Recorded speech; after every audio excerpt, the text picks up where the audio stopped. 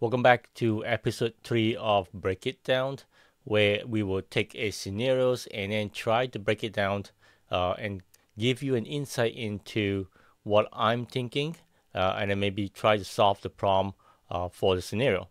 So in today's episode, this is not a scenario per se, I would say more like a question. So let's go ahead and read that and take a look. As a team member in a team that does Scrum, my Scrum Master says that the daily Scrum is an example of continuous planning. Is it true? And if it is, how should we go about the daily Scrum?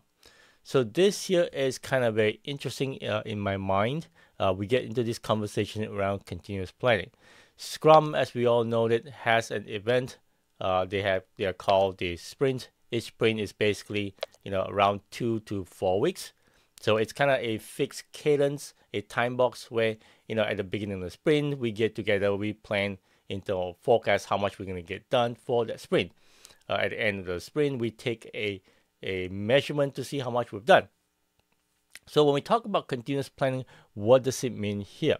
So going back to the question, is our daily scrum an example of continuous planning? My answer is yes, it is.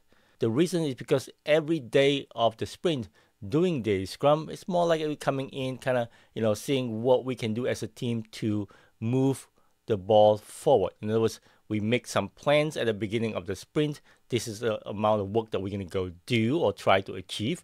And then during each day, then we have data coming back, right?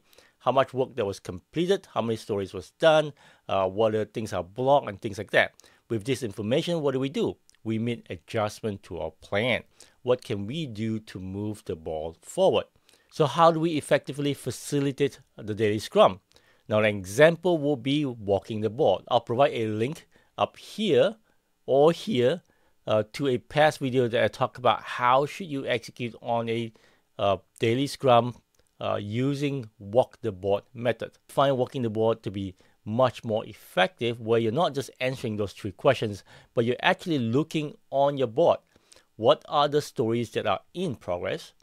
And you're answering the question of what can what are we doing to move the ball forward? You know, taking the stories that are in progress to done, and then looking at other stories that might be coming in. What is my next story that I'm working on?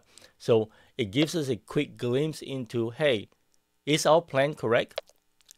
What do we need to do to make adjustment to our plan? Do we want to bring more work in? Do we want to adjust? What are we doing as a team to complete what we plan during sprint planning? How would you go about explaining continuous planning to a team member if you're asked that same question? What methods or what facilitation methods would you do? What other techniques would you share with all of us? There you have it. Until the next episode, bye